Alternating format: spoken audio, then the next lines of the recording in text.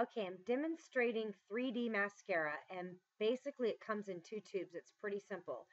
Uh, you do one lid at a time, so you'll notice I'm doing the top lid only, and I'm just putting the wet the wet tube on right now. Now that's the dry tube, and that's actually green tea fibers, and then you seal it again with the wet. So I actually sped this video up so it wouldn't be super boring for you.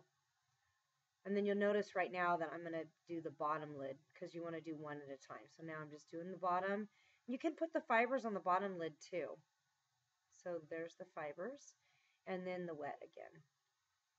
And I'm going to slow the video down here in a second and do a close-up so that you can see what that looks like. Got the remote control there. Okay, so you can see that the diff it's quite a bit of difference and it's very natural looking. And I'm actually wearing mascara on the other eye, but it's uh, i am not going to mention the brand because it would be embarrassing for them. But you can barely even see that it's there on on camera. So so I'm going to zoom back out again here and I'm going to speed the camera up again and I'm going to do a second layer. So you can actually do as many layers as you want. You can go as big as you want with this. And I like it because it's not clumpy and it just looks it just looks really natural.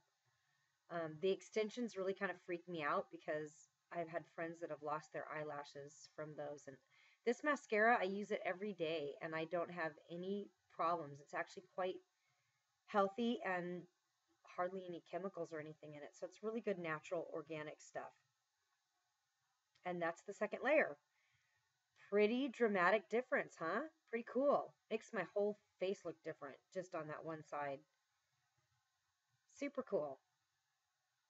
So if you want it, go to getmascara.com or click the link below and order yours now. You can get it. It's pretty cheap.